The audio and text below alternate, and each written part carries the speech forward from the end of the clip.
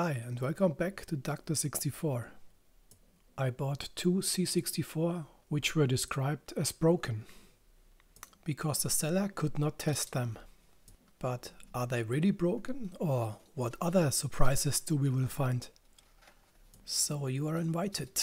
Stay with me and let's find out.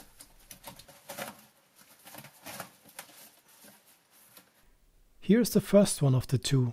Doesn't look bad at the first glance. A little yellowing on the case. Some keys are not yellowed at all, but others are very.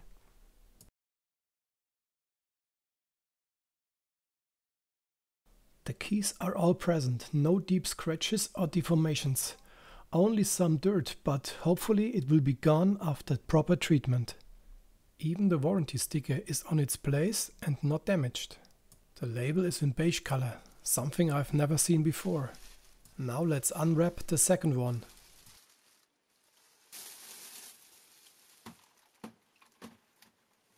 This case is a little less yellowed and also the keys are not yellowed so much. But here a key is missing and also there's a slightly more dirt. But like the first one, no deep scratches or damages. Here we have a silver label, which is much more common, but the warranty sticker, can you see that? It is glued next to the screw and is completely intact. This looks like rubber abrasion, so it should be possible to remove it with a sponge or eraser. Even the protective film is still on the badge. That doesn't look so bad at first, so let's take a look inside our patient. This little screwdriver here doesn't have as much power as its bigger brothers, but it'll do the job and it's very helpful. To open the cover, press on both sides of the lower case so that the snap-in hooks can release the upper cover.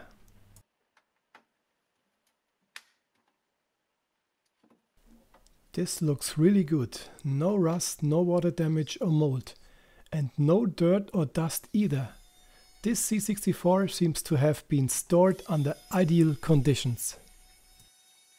I already have the fear that I will not have much to do here, but let's not get too excited too soon.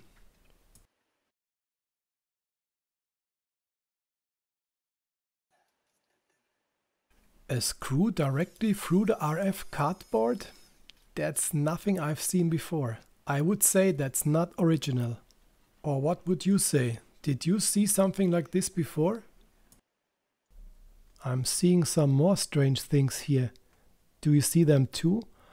Look at some of the chips. See what I mean? The white stuff, that is thermal paste. But where should the heat be dissipated? To the cardboard box? Certainly not. Here should be a metal shield to which the heat can be dissipated. And I see something else. Look here. Under the circuit board is also a metallic RF shield. The PCB and the plastic housing doesn't match together. Normally you have a metallic shielding or an RF cardboard, but not both together. Have you ever seen it like this? Can this be directly from production? I think not. But now let's see if our magic box works. Or are there more surprises? Directly after switching on, I checked the currents on the 5 volt and the 9 volt rail. They look okay. So it seems that there are no critical short circuits. And now let's see if I was right. Does this thing work? yes, for sure. What a bummer.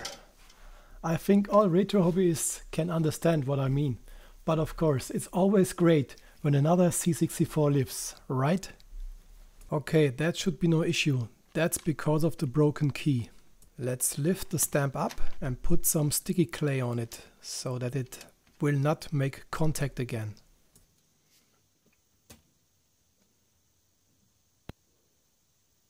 And hey, works as expected. So let's write a little program.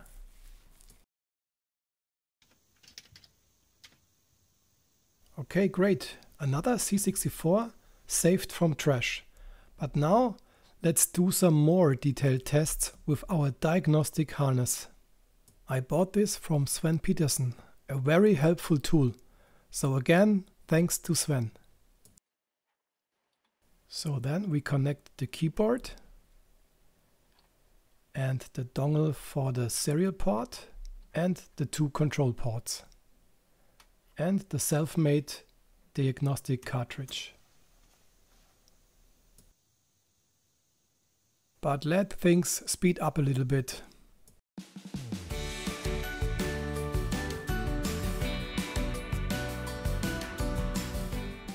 Hey, that looks really great. All things okay. And now the sound check. Sounds good at first. I will test this again later with the SID tester.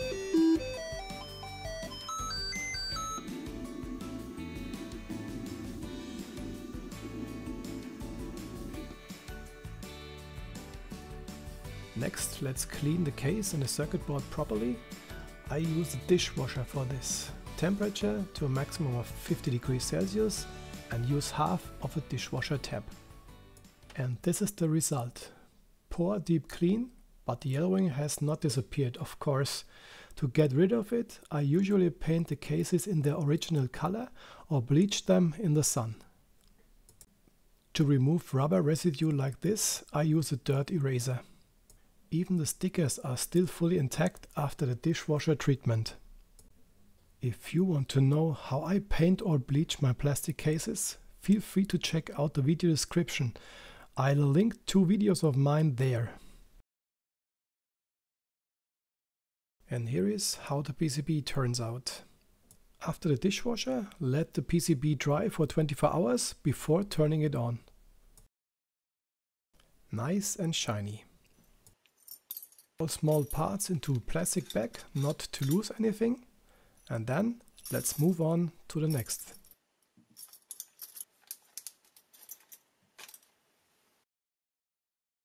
And here is our next beauty. Also yellowed of course, but beside that looks very nice. And even the warranty sticker is untouched. Now you have two possibilities. Peel off the sticker carefully or cut carefully with a razor knife to expose the screw. If you want to keep the original sticker, you can put it back right beside the screw hole to keep it.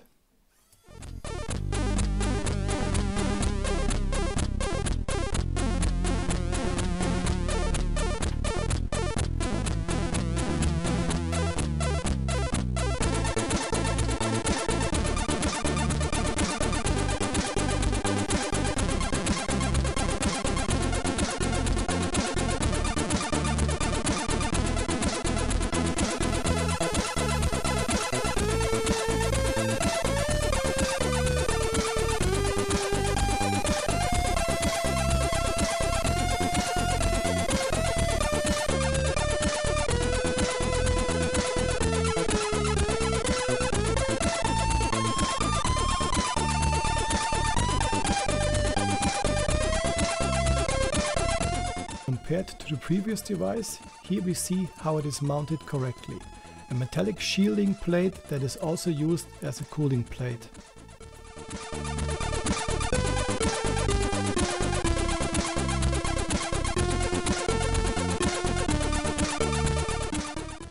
All chips are in place, that's a good sign for now.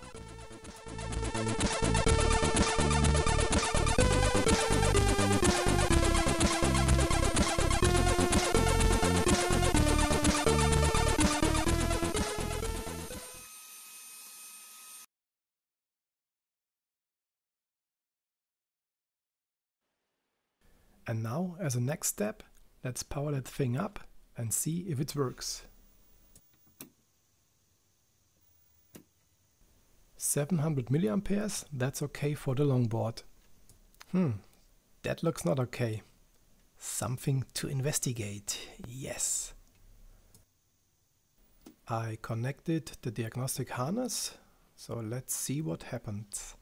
Okay, the fault is the same like on the basic startup screen.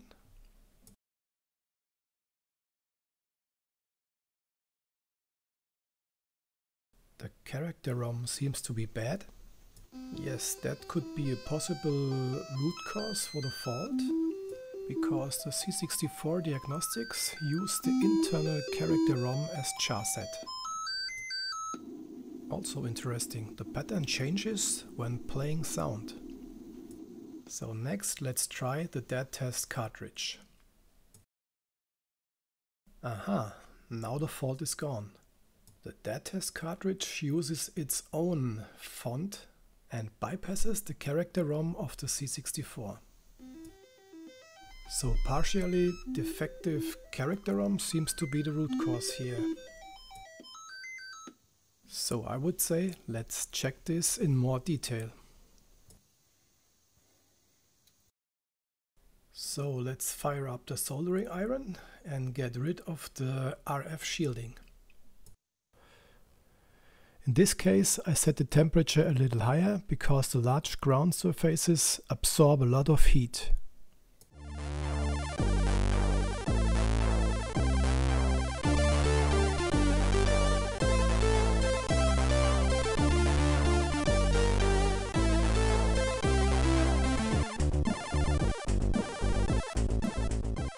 Then let's check the position of the character ROM in the schematic.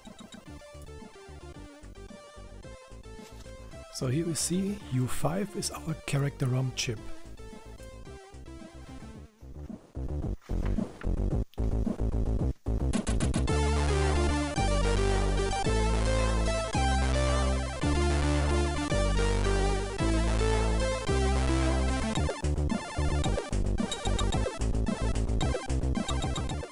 In this case it was better to add some fresh solder, in other cases it's enough to add only some flux.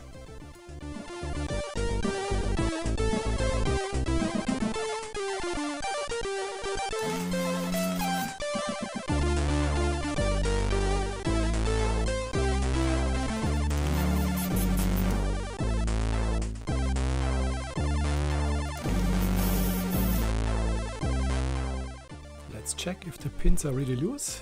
If not, they will get a special treatment.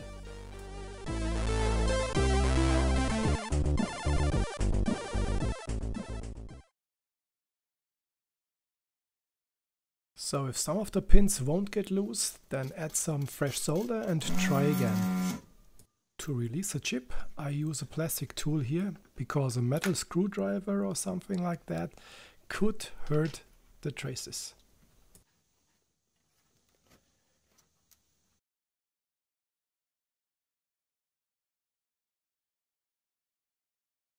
All the pads look fine, nothing's damaged.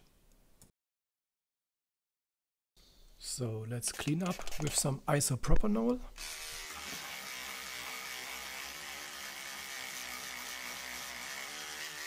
Do not use for brushing teeth anymore.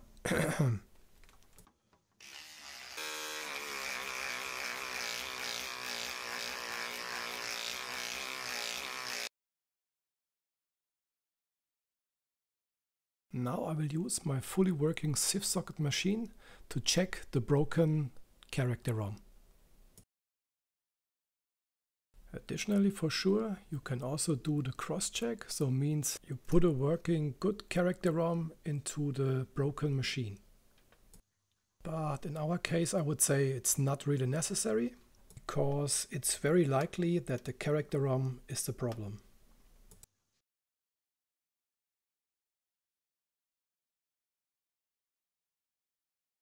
The error is not as obvious as in the other C64, but with a good chip in the ZIF socket machine, it works without problems. Let's do the counter test anyway. And with a good CHAR-ROM, the bad machine works fine.